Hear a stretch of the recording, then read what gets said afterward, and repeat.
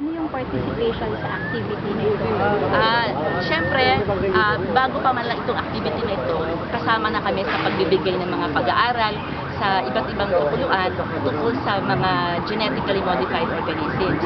Nag-sponsor din kami ng mga activities noon, kasama pa nga si Jeffrey Smith, ano, ah, isang kilalang uh, science, ah, isang kilalang journalist na laban sa genetic ah, engineering. Ano? So bukod sa mga forum na kami nagpa-petition signing din, at saka syempre higit sa lahat kami ay practitioners ng likas kayong pagsasaka sa Luzon at Visayas.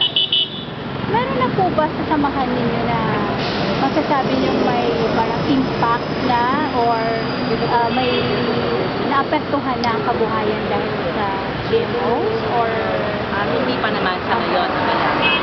Hindi na wala pa. Sana na hindi na magkaroon.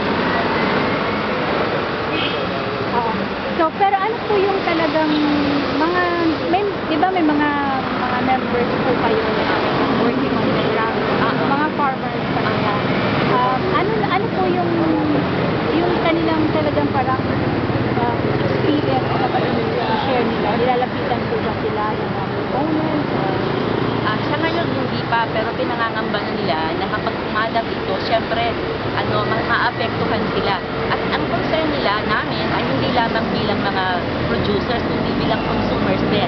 Alam naman natin kung ano lang yung papel ng kababaihan sa pagpaplano ng ah, nutrisyon ng pamilya at ng pagbigasan ng buong bansa. Kaya concerned kami sa mga panganib na pwede itulong sa.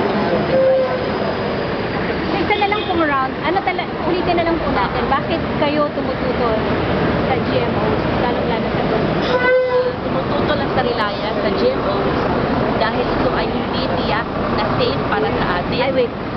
Pwede po bang ulitin nyo? Tumutulong lang sa at kung pinakita. Oo. Para, para, Steady lang po tayo ah.